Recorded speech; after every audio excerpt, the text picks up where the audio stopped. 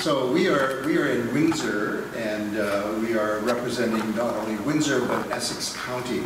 Uh, this is the southernmost part of Canada, and oftentimes it's a, the little the least known part of Canada because we are down here in the southwest of Ontario. We are in fact the, the southernmost part of Canada. Uh, including Windsor and the county, there are about 500,000 people in our area. Most of our people live in the rural counties. Uh, we have a rich agriculture. Uh, we have uh, mostly, as I said, rural churches, but we do have some fine instruments here in, in, in, in Windsor as well. We have a wonderful climate here. Uh, it's uh, the same climate as, on, as North California, and that means we have good wineries. In fact, we have 18 wineries within 30 minutes drive, and uh, we are very proud of our, our wine industry in this part of the country. Um, we're on a peninsula, and we're surrounded by water and live on the land originally inhabited by indigenous peoples who've traveled this area since time immemorial. The territory is with the lands honored by the Wampum Treaties and the Allied Nations. Uh, and we are, are committed to peacefully care for and take care of the resources in this part of the country surrounded by the Great Lakes. Now, we originally started back in the 1980s when David Palmer, who is well known to all of you in the RCCO, started the very, very first youth RCCO center back in the 80s. And that was mostly for his organ students at university students. Uh, many of them are notable Canadian organists even today. And uh, with his leadership and under the leadership of Judy Boutin, we've, uh, we've had a number of students that have gone on to become fine organists across our country. As with many centers, we are facing similar challenges uh, in terms of maintaining and growing our membership. And we have a unique opportunity here in that we, have, we are in close proximity to the United States. Um, the Detroit, just across the border, has a very impressive arts culture with many fine organs and opportunities and, and challenges. In fact, just as a piece of trivia, most of us, when we travel to the States, when we travel south to the United States, we actually have to travel north to get to Detroit. Um, we have a number of cross-border challenges, but opportunities, and we'd be curious to know about other centers across the country who have a cross-border relationship with the American Guild of Organists. Um, while we all are unique in, in many ways, uh, we are also facing similar challenges and opportunities. And through the means of this video, we hope to share with other centers and we hope to have an ongoing dialogue and sharing of resources across the country. So having said that, I'm going to hand over the, uh, the video to a number of our, our members here. We'll start with Karen Price, who is our, our, our membership chairperson. And Karen's going to talk a little bit about our membership. Yes, as Paul said, we are like other centers, we are always looking for new members, um, and it's a challenge to find them, but our current members are very, very loyal. Um, and we keep in touch as a family center. So, um, we keep in touch by telephone, make sure that people are doing well, and uh, we are very proud of our membership. Carrie does a great job of staying in touch with all our members and making sure that we know when people need our support and our encouragement. So uh, we, we, do take very, we take seriously our, our role in, in sharing and caring for our, our membership. We've, uh, over the years, had a number of uh, very interesting programs. And Ben Schinkel, I think, Ben, you were one of our founding members, were you not? Back how many years ago was that? Well, I think it's about 37 years ago. Not this issue, but I was already here. I remember when we had our uh, um, uh, how you call that, um, um, convention. Yes, we had a convention. Convention, and that's about 35 years ago. So, and then I was already a member, and then I became a chairman for a couple of times, and now I've been the uh, um, treasurer for 25 years. And Ben keeps a very good, close eye on our, our finances, but he's, he's seen a lot of our programs over the years, and uh, some of our programs have been uh, around youth. We had an International Youth Day. Um, We had over 30 people involved in that activity. Um, We've, uh, we've, we were, we had a very successful uh, organ playing competition, record-setting competition a number of years ago. Um, We've participated in Doors Open Windsor. We've participated uh, uh, in uh, working with Elder College, which I'm sure Henry will talk about a little bit. But our, our activities over the years have been similar to what other centers are doing, uh, pedals, pipes, and pizza, pipe organ encounters. Uh, we, we, we have a number of activities that we share with our members, centers across the country. Um, we also have a very, very unique service here in Windsor, Essex, and that's uh, provided to us by our, our organ advisor, uh, and that is Ron Dossenbach, who's sitting here. And, and Ron's going to tell us a little bit about the role that he plays in our, in our center. Ron? As a pipe organ tuner and technician, kind of have a different uh, inside view of, into the organs in the area. And what's been a real source of satisfaction to me is the history that several of our organs have and the connection they have with not necessarily just the organ itself. We have a historical instrument in a, one of the oldest churches in Ontario. Um, we have one of the uh, organs, Opus uh, 17 of Casavant was installed in a nearby church. Uh, There was a uh, Prohibition entrepreneur that had the only pipe organ, player pipe organ in his home, the only one in Ontario this side of Hamilton. And uh, that went in the 40s into a funeral home. And uh, that is in perfect working order. And that is a, that's a delight. Uh, And so what we offer is uh, kind of a, uh, uh, anyway, when I joined the, the, uh, the board, uh, Paul asked me if I wouldn't mind being uh, an organ advisor as a portfolio title.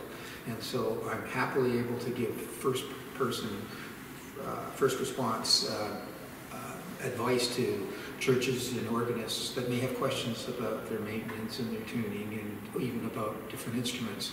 And so that is a, a nice way to connect and offer service to the, to the area.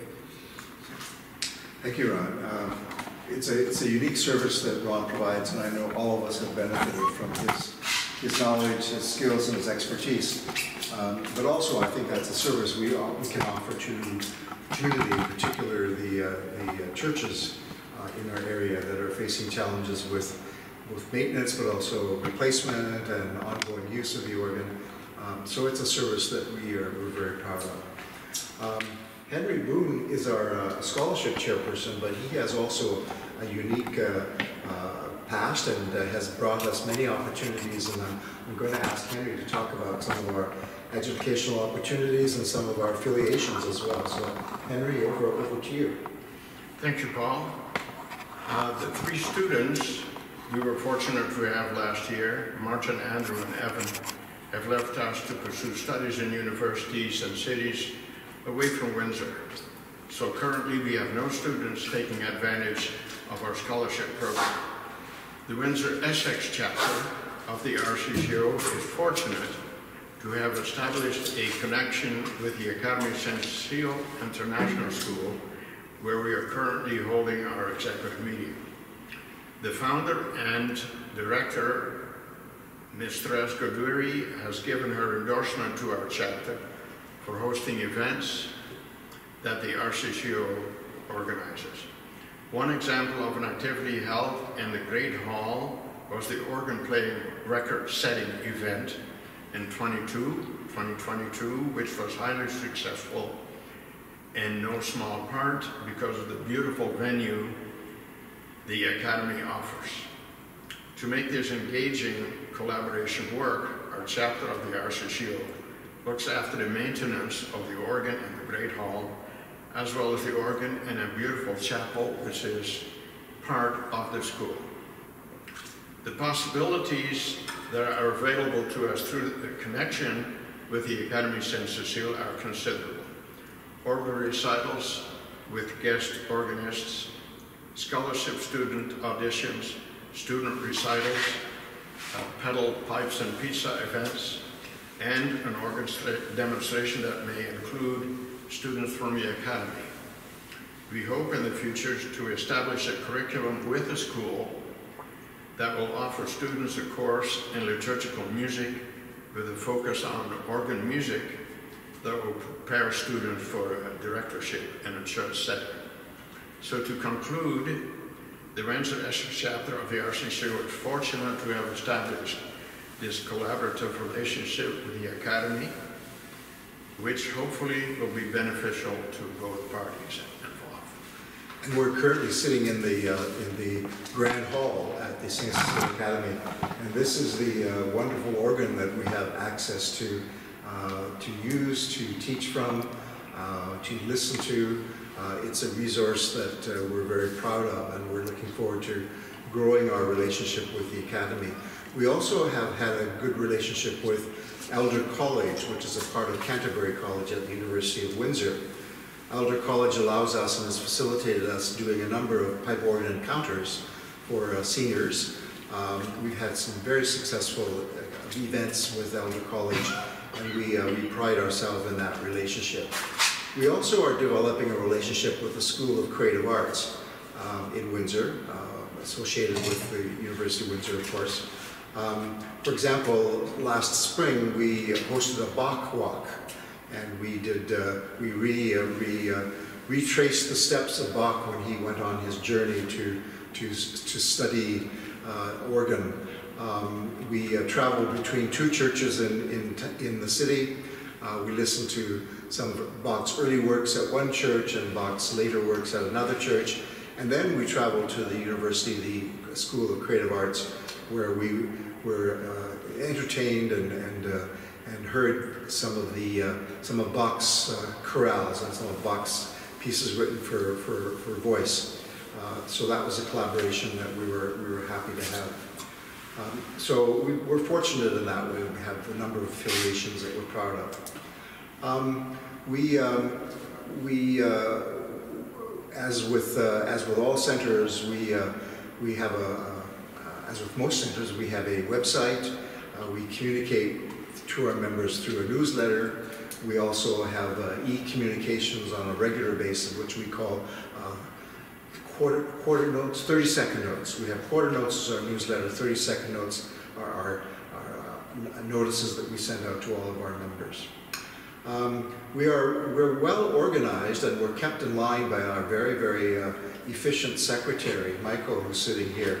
Uh, Michael's been our, our, our very, very hardworking uh, secretary for many years now. We're really, we're really uh, obliged to him for his, his ability to keep us organized. Mike, do you want to say just a couple words about what we do as a, as a committee and how we meet? Okay, The, uh, the center usually has a membership list on the order, I'd say between 20 and 24 people. And of those, right now, eight are actually on the committee. It's, uh, meeting once a month is a time where we can get together, usually, usually about a two-hour meeting, so get a bit of business done and have a bit of conversation with what's going on in the area. In addition to monthly meetings, there's occasionally unscheduled or emergency meetings if there's an event coming up, something that needs to be addressed. And uh, everyone pretty well works together. There's no one, you know, no one person. It's, it's certainly a team effort. Uh, One thing I would mention, one of the people on the exec is a- member who is our chaplain, uh, Robert Clifford, who's not here today, but uh, it's, uh, gives us a direct uh, connection where we can have spiritual advice or have an insight into what's going on in the churches. And he's got, being, being a minister, he's got a connection with other um, churches and other ministers. So if we want to hold an event or if you want to find out what's going on or who needs help, he's there for us. There's not really too much more to say. My main function, of course, is just writing the minutes and making sure that everything's uh, kept on record. And he does a good job of keeping us in track. Um, Thank you for mentioning also about chaplaincy. In in 2018, uh, our center made the decision through our annual meeting to reinstate the position of chaplain on our executive. Um, For, for the many of the reasons that, that Michael talked about, that we have, uh, uh, we have access to someone who can provide support and counseling as needed to our members, but also uh, provides us a foray into the, uh, the, uh, the church community. Um, That, that, of course, is one of our main stakeholders, and uh, we are very, very fortunate that Robert uh, is also a very keen musician and very, very supportive of uh, music in, uh, in the liturgical sense. But also, Robert's function is to ensure that we adhere to our, to the, to this, to the, uh, to the safeguarding policies and the code of ethics uh, and the rules and regulations that, uh, that ensure that we are, we are providing services that are both sound but also safe and secure for all of, all of our members and all of our stakeholders. Um, As I said at the beginning, we, uh, we are similar in many ways to other centers in the, in the RCCO. Uh, We have unique uh, characteristics, uh, but we also share a number of the challenges. And I'm hoping that through this video and through sharing the video with other centers and hearing other centers' videos focusing on their work, that we're able to develop and maintain an ongoing dialogue and uh, sharing of information and resources across the country. Uh, we are we're very open and we're very welcoming to comments and we, we welcome uh, any feedback that you care to give us. And anytime you want to visit us in, uh, in uh, Windsor, Essex and hear some of our fine music, we'll ensure that you are treated to some of the wonderful wines that we, we produce in this county as well. So thank you for listening to us about the Windsor Essex Center. Uh, we're, we're very happy to, uh, to share with you a little bit of insight into who we are, and we look forward to hearing about other centers and the work that's being done across, across Canada in the Royal Canadian College of, of Organists. Thank you.